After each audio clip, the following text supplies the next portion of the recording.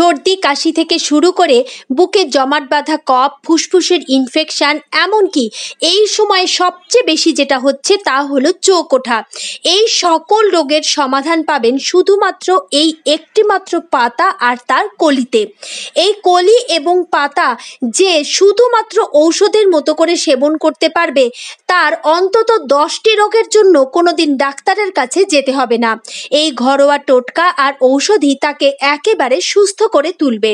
কীভাবে কোন রোগে কতটুকু পরিমাণ সেবন করতে হবে বা ব্যবহার করতে হবে তা ভিডিওতে ধাপে ধাপে জানিয়ে দেব। এই সময়ে সবচেয়ে যেটা বেশি হচ্ছে তা হলো চোখ ওঠা। চোখ ওঠার সমস্যাটা এতটাই বেশি হয়েছে যে এটা মানুষের কাছে অনেক বড় আতঙ্কের বিষয় হয়ে গিয়েছে। এই চোখ ওঠার সমস্যায় আপনি এই ফুলের একটি কলি শুধুমাত্র ব্যবহার করবেন। এতক্ষণ ভিডিও দেখে নিশ্চয়ই বুঝতে পেরেছেন যে আমি কোন ফুলের কলির কথা বলেছি। এটা হলো জবা ফুল। তবে খেয়াল রাখতে হবে, যখন আপনি জবা ফুল নেবেন, তখন যেন সেটা লাল জবাই হয়ে থাকে। লাল জবা সেটা পাঁচ পাপড়ির জবা হোক আর পঞ্চমুখী জবাই হোক, লাল জবার ঔষধি গুণাগুণ নিয়েই আজকে কথা বলব। এই লাল জবা যদি কেউ চোখ ওঠায় ব্যবহার করে, তাহলে তার চোখ ওঠার সমস্যা একেবারে ভালো হয়ে যাবে। এক থেকে দুইবারের ব্যবহারেই এই সমস্যা চিরতরে চলে যাবে। কীভাবে ব্যবহার করতে হবে? যদি কারও চোখ উঠে থাকে, চোখ দিয়ে পানি পড়া এবং চোখে প্রচুর পরিমাণে পিছুটি হওয়া, চোখ ব্যথা করা, চোখ চুলকানো, অর্থাৎ যে ধরনের সিমটমগুলো চোখ ওঠার ক্ষেত্রে থাকে, এই ধরনের সমস্যা হলে এই লাল জবা ফুলের একেবারে কলি খুব ভালো মিহি করে বেটে নিতে হবে। খেয়াল রাখবেন, যেহেতু এটা চোখে ব্যবহার করতে হবে, তাই যেন খুব পরিষ্কারভাবে এটা বেটে নেওয়া হয়। তারপরে সেটা চোখের ওপরের পাতায় প্রলেপ দিতে হবে। চোখের পাতা বন্ধ করে, অর্থাৎ চোখ বন্ধ করে তার ওপরে প্রলেপ দিতে হবে এবং রাখতে হবে টানা এক ঘণ্টা। এক ঘণ্টা চোখের পাতার ওপরে এটি রেখে দিন। দরকার হলে সেই এক ঘণ্টা আপনি ঘুমিয়েও থাকতে পারেন। শুধুমাত্র খেয়াল রাখতে হবে যেন সেই ফুলের কোনো ধরনের কোনো রস চোখের ভেতরে চলে না যায়। অর্থাৎ চোখ খুব ভালো করে বন্ধ করতে হবে। আর চোখের পাতায় যখন ব্যবহারের জন্য আপনি ফুলের কলিটি বেটে নেবেন, তখন তাতে কোনো ধরনের পানি মেশাবেন না, এক ফোঁটাও না। পানি মেশালে জিনিসটা রস তৈরি হবে এবং তখন চোখের ভেতরে যাওয়ার একটা সম্ভাবনা তৈরি হয়। কাজেই একেবারে শুকনো করে বেটে চোখের পাতায় প্রলেপ দিয়ে দিনে এক থেকে দুইবার দিলেই একেবারে চোখ ওঠার সমস্যা ভালো হয়ে যাবে। চোখের ব্যথা সহ সকল সমস্যা দূর করতে পারবেন। এবার আসি সর্দি কাশির সমস্যায় কি করে আপনি এই ফুল সেবন করবেন। যে কোনো কারণে সর্দি, কাশি হলে বুকের জমাট বাঁধা, কফ ইত্যাদি সমস্যা থাকলে এই জবা ফুল আপনাকে নিতে হবে। জবা ফুল নেওয়ার পাশাপাশি আপনাকে নিতে হবে এই লাল জবা গাছের মূল বা শেকড়। শেকড় বা মূল নেওয়ার সময় খেয়াল রাখতে হবে যে গাছের যেন কোনো ক্ষতি না হয়। গাছের গোড়ার মাটি আলগা করে ভোরবেলায় সেখান থেকে মূল কেটে নিয়ে আসবেন এবং সেই মূল খুব ভালো করে পরিষ্কার করে এক আঙ্গুলের সমান মূল, এটা আপনাকে বেটে নিতে হবে। অল্প পরিমাণ পানি দিয়ে অথবা সরাসরি একটি জবা ফুলের কলি দিয়ে এটা বেটে নিন। আর তারপরে এটা এক গ্লাস পানিতে মিশিয়ে সেবন করুন। আপনাকে এটা শরবতের মতো করে সেবন করতে হবে। সকালে একবার আর বিকেলে একবার।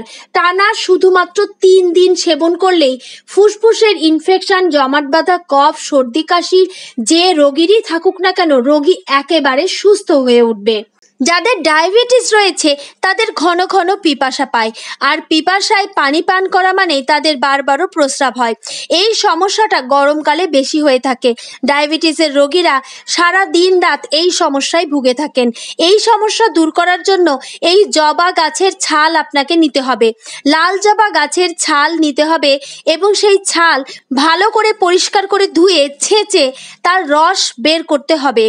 এক থেকে দেড় চামচ রস এক গ্লাস পানির মধ্যে মিশিয়ে সেটা সকালবেলায় একবার সেবন করুন এবং রাতে ঘুমানোর আগে একবার সেবন করুন। তিন দিন সেবন করলেই এই পিপাসার সমস্যা, ঘন ঘন প্রস্রাব ইত্যাদি সমস্যা একেবারে ভালো করতে পারবেন। জবা ফুলের অনেক রকম গুণ রয়েছে। জবা ফুলের পাতা এবং জবা ফুল রোগীর জন্য মহা ঔষধ। যদি অতিরিক্ত স্রাব হয় মহিলাদের, অর্থাৎ ঋতুস্রাবের সময় যদি অতিরিক্ত ব্লিডিং হয়ে থাকে, তাহলে এই জবা ফুলের কলি নিতে হবে। সেক্ষেত্রে লাল জবার যেটা থোকা অর্থাৎ পঞ্চ জবা হয়ে থাকে, অনেকগুলো পাপড়ি সহ যে জবাটি হয় লাল জবা, সেই জবার পাঁচটি কলি নিতে হবে। সেই কলি অল্প পরিমাণ গরুর দুধের ঘিয়ে ভেজে নিতে হবে। তারপরে সেটা খুব ভালো করে বেটে শরবত আকারে সেবন করতে হবে। শরবত করতে হবে আতপ চাল ধোয়া পানি দিয়ে। এক মুঠো আতপ চাল সারা রাত ভিজিয়ে রাখতে হবে। তবে অবশ্যই আতপ চাল ভেজানোর আগে পরিষ্কার পানি দিয়ে ধুয়ে নিতে হবে, যাতে তার ভেতরের কোনো ধুলোবালি আপনার ঔষধে প্রবেশ না করে। পরিষ্কার করে ধুয়ে নেওয়া এক মুঠো আতপ চালে এক গ্লাস পানি দিয়ে রেখে দিন। তারপরে সকালবেলায় সেটা ছেঁকে এর সঙ্গে এই জবা ফুল ওষুধ তৈরি করে সর্বতাকারে খেয়ে নিন। আপনি যখন এটা সেবন করবেন, তখন আপনার অতিরিক্ত স্রাব, পেট ব্যথা বা ক্র্যাম্প ইত্যাদি সমস্যা একেবারে চলে যাবে। এটা খুব ভালো কাজ করে। যদি কেউ টানা তিন দিন সেবন করতে পারেন, তাহলে তার এই সমস্যা চলে যাবে। এটা স্রাবের আগে বা স্রাবের সময়তেও সেবন করা যায়, কোনো ক্ষতি হয় না। আবার অনেকেরই আছে যে স্রাব খুব কম হয়ে থাকে বা খুব অনিয়মিত হয়। অনিয়মিত স্রাব এমন হয় যে কারও কারও ক্ষেত্রে একেবারে দুই থেকে তিন মাস, এমনকি তারও বেশি পরে স্রাব হয়, আর যখন হয় তখন অসহ্য ব্যথা এবং স্রাব খুব অল্প হয়। এই সমস্যায় অনেক নারী ভুগছেন, কিন্তু সমস্যাটি তারা গোপনে রাখেন, লজ্জা পান অনেকেই এবং কারও কাছে প্রকাশ না করে দিনের পর দিন এই ধরনের কষ্ট সহ্য করে যান এবং পরবর্তীতে এই ধরনের নারীদের খুব সহজেই বন্ধাত্ম চলে আসে। এই ধরনের সমস্যা থেকে বাঁচতে হলে আপনাকে এই পঞ্চমুখী জবার কলি সংগ্রহ করতে হবে। একদিন সেবনের জন্য পাঁচটি কলি নিতে হবে। আর তারপরে আপনাকে আড়াইশো মিলি পানির মধ্যে দিতে হবে পঞ্চাশ গ্রাম দারুচিনি। দারুচিনি ভালো করে ধুয়ে আধা ভাঙা করে পাঁচশো মিলি পানির মধ্যে ভালো করে ফুটিয়ে নিন। ফোটাতে ফোটাতে এটা যখন আড়াইশো মিলি হয়ে যাবে, তখন সেটা ছেঁকে নিন। ছেঁকে অর্ধেক করে ভালো করে রেখে দিন। অর্ধেকটা সকালে এবং অর্ধেকটা রাতে সেবন করবেন।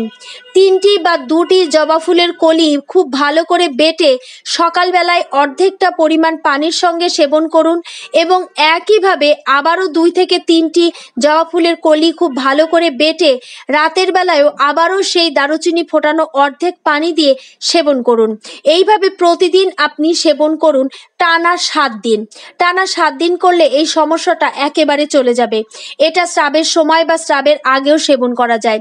মাসে একবার সেবন করলেই এই সমস্যা একেবারে ভালো হয়ে যাবে। অনেক মানুষ আছেন যাদের আবার এই ধরনের সমস্যা নয়, তবে তাদের সাদা স্রাবের সমস্যা রয়েছে। যে সকল নারীরা সাদা স্রাবের সমস্যায় ভুগছেন এবং প্রচুর পরিমাণে সমস্যা, তারা এই লাল জবা ফুলের শুধুমাত্র পাতা নিয়ে নেবেন। পাতা ভালোভাবে পরিষ্কার করে এটা শুকিয়ে নেবেন। তবে খেয়াল রাখতে হবে, এটা না ধুয়ে কিন্তু সেবন করা যাবে না। পরিষ্কার করে ধুয়ে সেই পাতা রোদে শুকিয়ে একেবারে মচমচে করে গুঁড়ো করে রেখে দিন। আর তারপর সেখান থেকে এক চামচ করে জবা ফুলের পাতার গুঁড়ো, এক গ্লাস হালকা গরম পানিতে মিশিয়ে রাতের বেলায় ঘুমানোর আগে সেবন করে ঘুমিয়ে পড়ুন। এইভাবে টানা সাত দিন করলে আপনাদের এই সাদা স্রাবের সমস্যা একদম ভালো করতে পারবেন। এটা আপনি সেবন করেই দেখুন, এটা খুব ভালো কাজ করে। যে সকল নারীদের এই সমস্যা আছে, তারা ভিডিওটি অবশ্যই ফলো করবেন। এটা একদম ঘরোয়া ঔষধ হলেও এটা বহু বছর থেকে মানুষ ব্যবহার করছে এবং এভাবে সুস্থ হয়ে আসছে। এই ধরনের রোগগুলো নিজের ভেতরে পুষে না রেখে খুব সহজেই যদি এই ধরনের ভেষজ দিয়ে দূর করতে পারেন, তাহলে দেখবেন যে নিজে কত সুস্থ হয়ে উঠছেন এবং আপনি সুস্থ হলে আরেকজনকেও এই পরামর্শটি দিতে পারবেন। জবা ফুলের মধ্যে রয়েছে প্রচুর পরিমাণে অ্যাসকার্বিক অ্যাসিড এই অ্যাসিড আমাদের দেহের যে ভিটামিন সি এর চাহিদা রয়েছে তা পূরণ করতে পারে। এবং এই ভিটামিন সি আপনাকে খুব সহজে যে কোনো ধরনের সংক্রমণ বা ফ্লু এর হাত থেকে আপনাকে বাঁচাবে। এই চা যদি কেউ সেবন করেন, তাহলে তার ডায়াবেটিস সারা জীবন নিয়ন্ত্রণে থাকবে। আপনি একবার শুধু নিয়ম মতো এই চা সেবন করলে আপনার ডায়াবেটিস ভালো হবে, আপনার দেহের খারাপ কোলেস্টেরল দূর হবে, আপনার ব্লাড প্রেশার নিয়ন্ত্রণে থাকবে। কখনো হার্টের সমস্যা হবে না লিভারের কার্যক্ষমতা অনেক গুণ বেড়ে যাবে, আপনার ওজন নিয়ন্ত্রণে থাকবে। শুধুমাত্র জানতে হবে কীভাবে আপনি জবা ফুলের চা সেবন করবেন। সেক্ষেত্রে জবা ফুলের পাপড়িগুলো আপনাকে নিতে হবে, লাল জবা, পাঁচ পাপড়ির জবা অথবা চাপা যে পঞ্চমুখী জবা সেটা নিতে পারেন। যে কোনো প্রকারের লাল জবা আপনি নিবেন এবং পাপড়িগুলো শুধু আপনাকে এক্ষেত্রে ব্যবহার করতে হবে, সম্পূর্ণ ফুলটি নয়। পাপড়িগুলো নিয়ে আপনি দুই গ্লাস পানির মধ্যে এগুলো দিয়ে ফুটতে দিন এবং খুব হালকা আঁচে এমনভাবে ফোটাবেন যেন জবা ফুলের সমস্ত গুণাগুণ নির্যাসেতে বের হয়ে আসে। এটা ফুটিয়ে যখন অর্ধেকটা হয়ে যাবে, তখন সেটা ছেঁকে হালকা গরম গরম পান করুন। আপনি চাইলে এটা মধু দিয়েও পান করতে পারেন, সেক্ষেত্রেও অনেক বেশি উপকার পাবেন। আর ভিডিওটি ভালো লাগলে এই কথাগুলো একদম ভুলবেন না। আশা করি সুস্থ থাকবেন, ভালো থাকবেন। ধন্যবাদ।